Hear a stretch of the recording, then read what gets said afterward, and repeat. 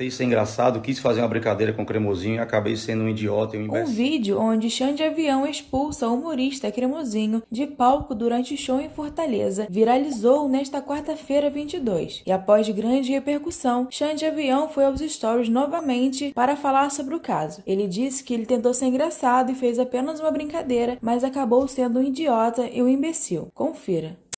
Galera, bom dia. Comandante Xande Avião. Não tem como não começar o Stories falando sobre isso, o acontecimento. Tentei ser engraçado, quis fazer uma brincadeira com o Cremosinho e acabei sendo um idiota e um imbecil. A palavra certa é essa, né? Fui no mínimo mais educado, é, sem necessidade. Errei, estou aqui assumindo meu erro, né? Um cara que nunca me fez mal. Infelizmente, quando vi o vídeo, vi que fui totalmente grosseiro, totalmente mal educado e eu não sou assim. Ontem à noite consegui falar com o Cremosinho já. Eu tinha é isso, não sou perfeito, sou passivo de erros e acertos, estou aqui assumindo meu erro e bola para frente, né? Segue o jogo. É, obrigado, Cremosinho, por ter me atendido ontem. Deus lhe abençoe. É, rio muito com seus vídeos e bola para frente, irmão. Você é o vencedor.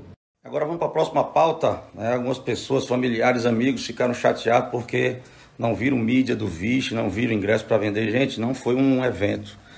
Foi o coquetel do lançamento que a gente fez terça-feira aqui em Fortaleza, lançando o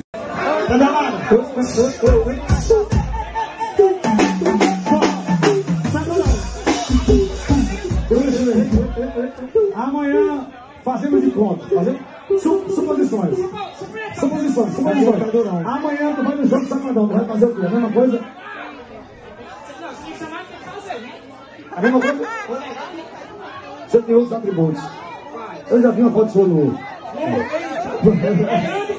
Próxima estação, Pantanal.